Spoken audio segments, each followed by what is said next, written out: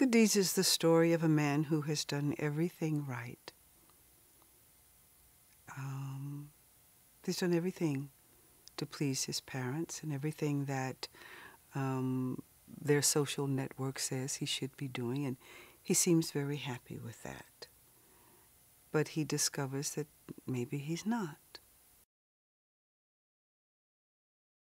Wilhelmina does not uh, have the same relationship with both sons.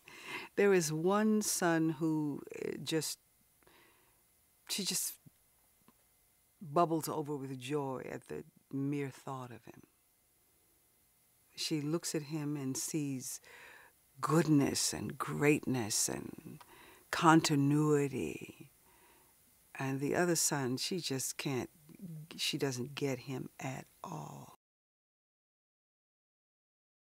he's very present in every moment. And I think uh, the thing I observe about him is his keen awareness of, of things that are going on around him all the time. Uh, along with this, the tenderness of the man and the goodness and nobility of man, there is uh, an emotional depth that is there. And it's just stunning to see. It's quiet. It isn't, um, it isn't overly played. It's felt. And when I look in his eyes, I see it. Well, Brian is such the antithesis of that character. This is a, this is a comfort and a joy to be able to say because he's a very confident and self assured human being um, and proactive in his approach to life. Uh, so it's very interesting to me to see him bring this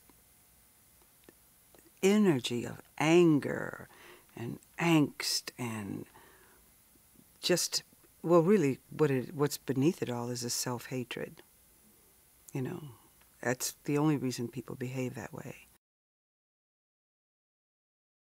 He's an artist. He's a very um, good artist. And he's a very wise businessman. And he will continue to grow and he will continue to do things that are different and new uh, as he continues to satisfy his audience and to expand it.